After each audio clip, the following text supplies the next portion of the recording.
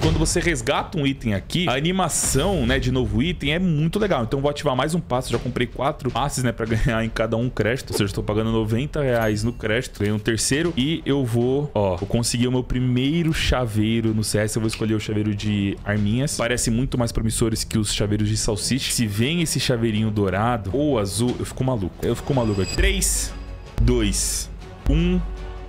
Receba. Opa, obter.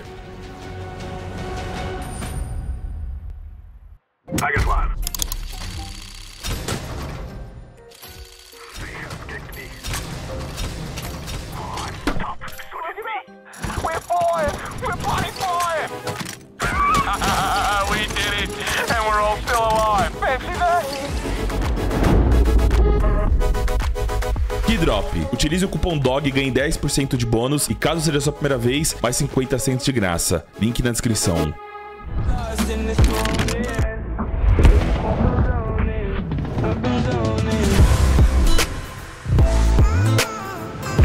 Prazer que eu anuncio a maior atualização da história, dessa história curta do CS2. Sejam bem-vindos a mais um vídeo aqui no canal Cachorro 1337. Resumindo pra vocês, os chaveiros finalmente chegaram, divididos ali em duas coleções, novos adesivos, quatro novas coleções de skins, um novo estilo de drop de skins jamais visto na história do CS e que muito provavelmente fará de algumas skins aqui extremamente caras e raras. A parte boa é que tendo passe, você terá a oportunidade de ganhar skins muito valiosas de graça. Dog, porque isso daqui não é uma operação. Galera, numa operação, é, embora ela traga né, quase tudo que esse update também trouxe, novas coleções de skins, uma nova caixa, né, sempre uma novidade inédita do jogo, uma operação ela traz missões. E aqui não temos missões. Nós ganhamos o XP e a moeda jogando o jogo competitivo, mata-mata, braço direito, jogando. E diferente né, de como foi nas últimas operações, aqui não há como comprar os créditos. É por isso que eu falo que os drops serão raros e eu acho que essas skins vão ficar caras pra dedéu. Esse vídeo vai ser longo, então já pega um negocinho pra comer, alguma coisa pra tomar, porque tem muita coisa nova. Eu vou fazer questão de mostrar cada skin que foi lançada, cada adesivo, cada chaveiro, como que os chaveiros funcionam. Meu CS já carregou. Jogo aberto, vamos comprar o nosso passe da coleção Armory. Obtenha um passe. Então vamos abrir aqui o arsenal para ativá-lo. Guys, eu não sei nem por onde começar. Uh, são muitas coisas. Vamos começar ativando aqui o nosso passe. Beleza, já ganhei um saldo ali de crédito. E conforme eu vou fazendo as missões e progredindo na operação, eu ganho XP e, consequentemente, mais créditos. Esses créditos eu gasto onde? Gastar com as putas. Aqui, nas novas coleções, de novas skins, de novos itens. Mano, não tem como comprar crédito, porque assim, se não tiver como comprar crédito, eu já adianto pra vocês que essas skins, né, as skins mais raras no caso, ficarão muito mais caras. Tá me parecendo aqui o estilo antigo de drop de skins, lá dos primórdios do CS. Eu preciso confirmar essa informação, mas, mano... Ah, não, aí não. Bem, com 25 estrelas, né, vamos chamar assim, nós conseguimos resgatar essa Desert Eagle. E é uma skin limitada, então o próprio jogo já diz aqui, temos apenas 103 dias para obter essa oferta, ou seja, conseguir esse item. E na descrição lá da Steam, tem uma informação muito legal, onde diz que cada Desert Eagle com tratamento térmico, que, enfim, é o nome da skin, é única em seu desgaste e padrão, ou seja, nenhuma será exatamente como a outra e possivelmente há alguma de Perenne ultra raro, possivelmente uma Desert Eagle Blue Jam, porque isso se assemelha muito a uma Case Hardener, como se fosse uma Case Hardener 2.0. Se isso for real, e em breve iremos falar sobre, mano,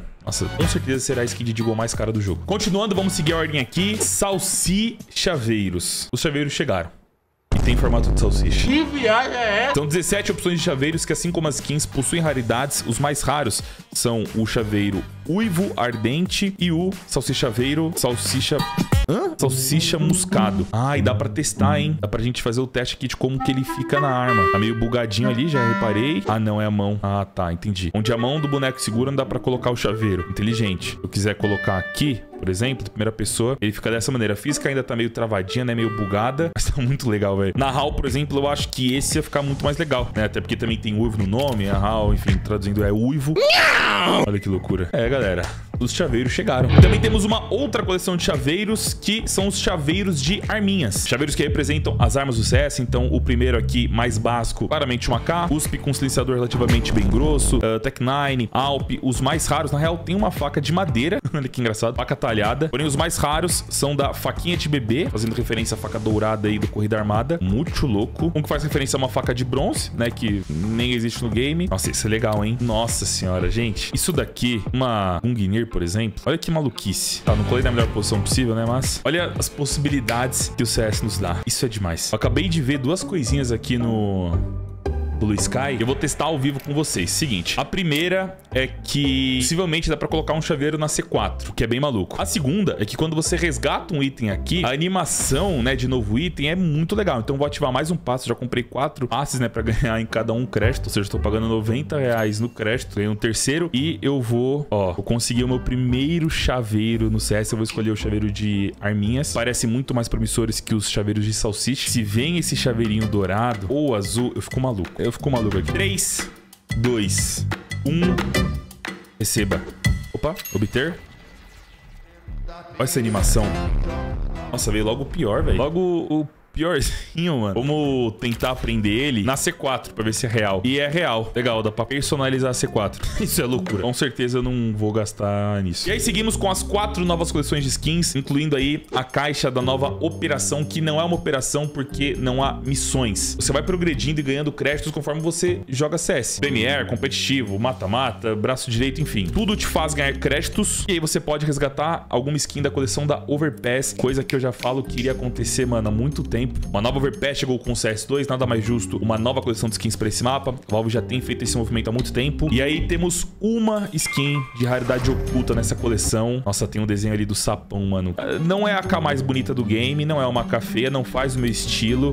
Só que é aquilo. Tem que jogar para ganhar XP e ter uma pequena probabilidade de dropar essa skin. Maluquice. Vai ser cara. Muito provavelmente será muito cara. Uh, temos aí na sequência, da mais rara agora pra menos rara, a Zeus Sonolência do Dragão, fazendo referência àquele novo dragão que tem no parquinho da Overpass. Alp Krakow, mano, muito, muito da hora. De verdade, muito foda. Desculpem a palavra, mas por enquanto a skin mais bonita dessa coleção. Aug Olho de Zapens, bacana também. Essa XM muito louca. Cara, skins coloridas, né, dessa coleção Overpass, ó, passei ali pela do Alberetas. A Glockzinha, grafite turquesa, um pouco mais simples. Não gostei muito. Essa nova é interessante, né, pena que é pra uma arma que ninguém liga muito. Mac 10, Ratinho. Cara, olha, mano, eu nunca vi uma skin no CS com um desenho, uma ilustração tão realista. Parece até uma foto. Diferente, bacana. Galil, espremedor metálico. Negev, rajadão. Desert Eagle, chutado. Linda. Desert Eagle espetacular. M41S Milave, por favor. Outra skin muito louca. Cara, gostei demais aqui dessa M41S. Gostei muito mesmo. MP5 Espremedor Neon. P90 Milave, bonitinha também. 57 Pintura da Meia-Noite. E é isso. Dessa coleção do Overpass, está com a Desert Eagle, AWP e AK. Vamos estudar um pouco mais sobre esse assunto, mas eu acho que,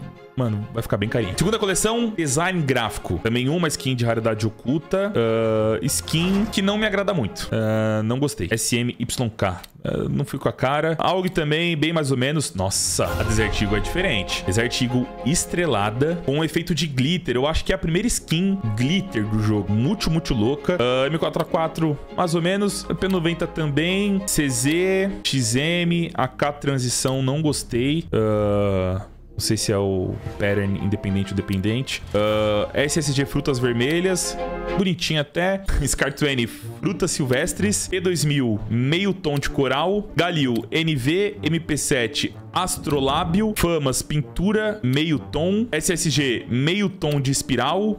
M249 Espectrograma. E é isso. Achei a coleção bem mais ou menos, sendo sincero. Só digo que realmente é muito louca. Coleção esportiva, terceira coleção aqui. Manos, galera, M41S Fade. E aqui, com todo respeito, arrisco dizer ser a M41S mais bonita do jogo a partir de hoje. Linda, espetacular. Tipo, quero uma agora. Pelo jeito vai ser muito cara. Uh, lembrando que todo skin fade tem os padrões, então a porcentagem de fade ela vai influenciar no design da skin. Não sei se será como a Alp, onde quanto maior a porcentagem de fade, mais rosa a skin, menos roxa. Uh, ou quanto maior o fade, mais roxa. Vamos ver. Mas além dela, temos essa Glock também espetacular, linda, maravilhosa. A Galil, demais também. Cara, é, até parece um um chrome fade, né? Um, um fade reverso, sei lá. Eu gostei. Olha, Olha que linda, 1.45 cobertura carmesim, fazendo referência à luva kimono carmesim, vermelha, espetacular.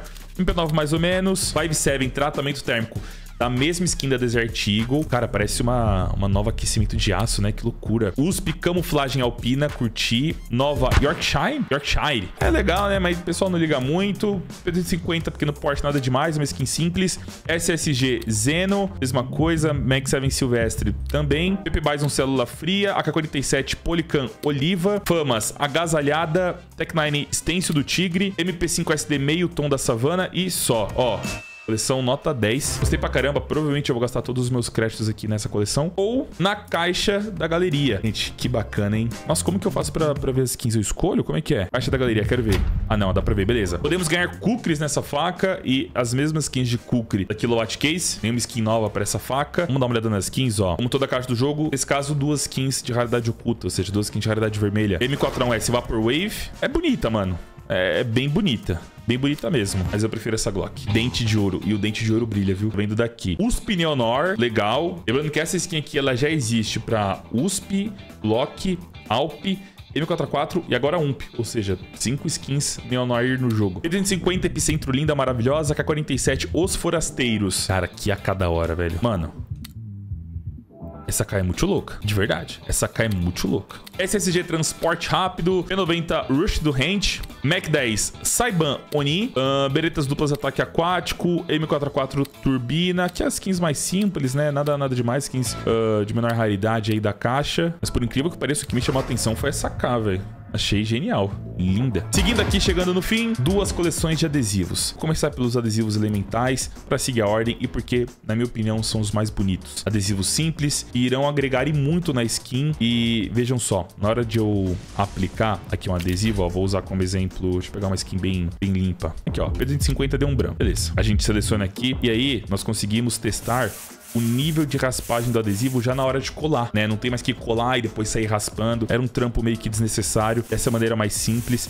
E esses adesivos... Esse barulho é meio irritante só. Mas, ó, eles escondem, digamos que, segredos. Que segredos? Podemos mesclá-los. Então a Valve deu uma opção aqui muito legal. Pô, o olho mexe, cara. Olha que loucura, mano. É um adesivo que o olho mexe. O adesivo do olho provavelmente tá aqui, ó. Tá mesmo. Cara, a bola preta do olho se mexe, velho. Que loucura é essa, mano? Como que os caras criam um bagulho desse, velho? De verdade, ó. Gente, o negócio agora é jogar pra caramba. Eu vou comprar um outro passe aqui, gastar mais 90 conto. Eu vou enviá-lo para um de vocês que não tem condições de comprar o passe aí do Arsenal. Se você tem condições, eu peço que você não participe do sorteio. Deixa pra quem não tem, pra quem gosta muito do jogo, quer poder participar disso, mas não tem grana pra pagar o passe. Eu não sei nem se dá pra enviar o passe, mas uh, se eu descobrir que ele não é possível enviar pra outra pessoa, não tem problema. Eu sorteio mesmo assim alguém, coloco o saldo na conta, ela mesmo compra. Pra participar, só comentar aí o código final do seu trade link. Tudo que tem ali a partir do sinal de igual, então, você comenta nesse vídeo. Amanhã já eu escolhi alguém aleatório para dar o passe. E lendo aqui o post da Steam, eu consegui a resposta que eu queria. Como ganho créditos Armory? Sempre que você ganha XP, você também progride no seu passe do Arsenal, que por sua vez lhe dará créditos do Arsenal. Galera, não tem como você comprar créditos como nas últimas operações, por exemplo, como no Major, onde você compra aquelas moedas. Então, vai ser difícil. Por mais rico que você seja, não vai ter como, por exemplo, você sair doidado aí abrindo todas as coleções, novas caixas, e as skins provavelmente serão bem caras. Esse é o meu palpite. Aqui também eu acabei de descobrir que eu não consigo comercializar o meu Armory Pass, então vou ter que dar manualmente aí pra vocês. E ó, não sei se é um erro da Valve ou se também é uma atualização, mas agora o Trade Lock de 7 dias, ele também é válido para vender o item no mercado. Então antes, quando você pegava um novo item, você precisava esperar 7 dias para mandar para outra pessoa, para negociá-lo. Porém, no mercado da Steam esse Trade Lock não existia. Pelo jeito, agora existe. Será que é para evitar preços inflados na Steam? É coisa que acontece sempre nos primeiros dias ali de um update? Acredito que sim. No mais, correções de bugs, correções em alguns mapas, correções pequenas, que a grande maioria não vai nem perceber. Sobre essas skins, eu ainda tenho muito pra falar, só que eu tenho muito ainda pra estudar. E é por isso que agora eu peço licença pra vocês pra finalizar esse vídeo. Tenho muito trampo pela frente. Galera, se inscreva no canal, deixem um like, ativem o sininho também na hora de se inscrever no canal. Para sempre que eu postar um vídeo novo sobre esse update, vocês serem notificados. Mas é isso, tamo junto, valeu. Eu, Rian, vou ficando por aqui. Até o próximo vídeo no canal Cachorro 1337. Falou!